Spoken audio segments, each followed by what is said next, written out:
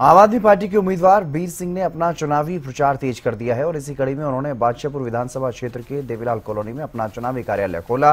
इस दौरान वहाँ बड़ी संख्या में कार्यकर्ता पहुँचे, जिन्होंने बीरू सरपंच का वहाँ पर जोरदार स्वागत किया और लोगों को संबोधित करते हुए बीरू सरपंच ने कहा कि लगातार जनता का समर्थन उन्हें मिल रहा है, क्योंकि बादशाहपुर विधानसभा क्षेत्र की जनता बदलाव चाहती है। बीते दस सालों की बात करें तो मूलभूत सुविधा तक भी लोगों को यहाँ पर नहीं मिल सकी है। उन्होंने ये दावा किया और कहा कि अब समय बदलाव का है और विकल्प के रूप में जनता आम आदमी पार्टी को चुनना चाहती है।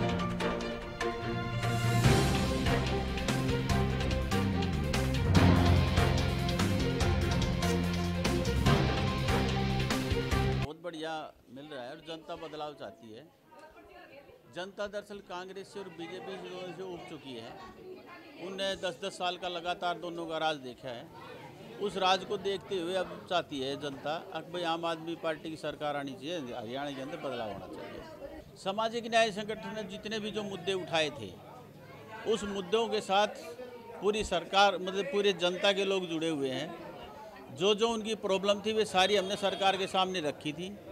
अब संगठन के लोगों को यही कहना था, भाई, जब हमने सरकार के सामने सारे मुद्दे भी रख लिए, प्रदर्शन भी कर लिए, धरना भी दे लिया, उसकी सुनवाई नहीं हुई तो अब चुनाव में जाना बेहतर है। चुनाव में लड़के ने और अब सरकार में हिस्सादारी करेंगे और अपने गुड़गांव की जो जितनी भी समस्याएँ उनको खत्म कराएँगे। भाजपा की सरकार रही, चाहे कांग्रेस की सरकार रही, पिछले दस साल के अंदर कोई भी किसी किस्म का वो नहीं हुआ, विकास नहीं हुआ। दस या बीस साल में विकास नहीं हुआ। अब आपने देखा होगा एक बार थोड़ी दस मिनट भी अगर बारिश हो जाती है तो दस मिनट के अंदर जल भराव इतना हो जाता है गाड़ियाँ उसके अंदर तैरनी शुरू हो जाती है रोडों के ऊपर।